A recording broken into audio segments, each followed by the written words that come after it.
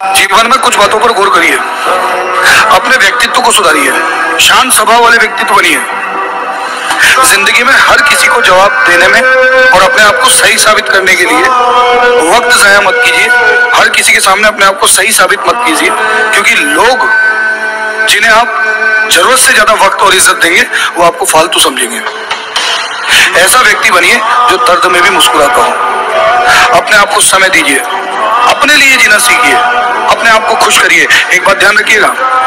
ज़िंदगी में सबसे मुश्किल कामों में से एक काम होता है स्वयं को खुश कर पाना। हम ज़िंदगी में दूसरों को खुश कर सकते हैं, लेकिन जब बात स्वयं की आती है, वो सबसे मुश्किल होता है। और ज़िंदगी में जिसने अपने आप को खुश करना सीख लिया, उससे बड़ी वापसी किसी की नहीं हो सकती। ना तो किसी के बंधन में बंधी है, ना ही किसी को बंधन में बांधी है।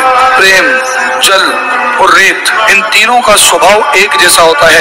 इन्हें जितना बांधने की कोशिश की जाएगी, ये उतना ही मुट्ठी से फिसलते जाएँगे।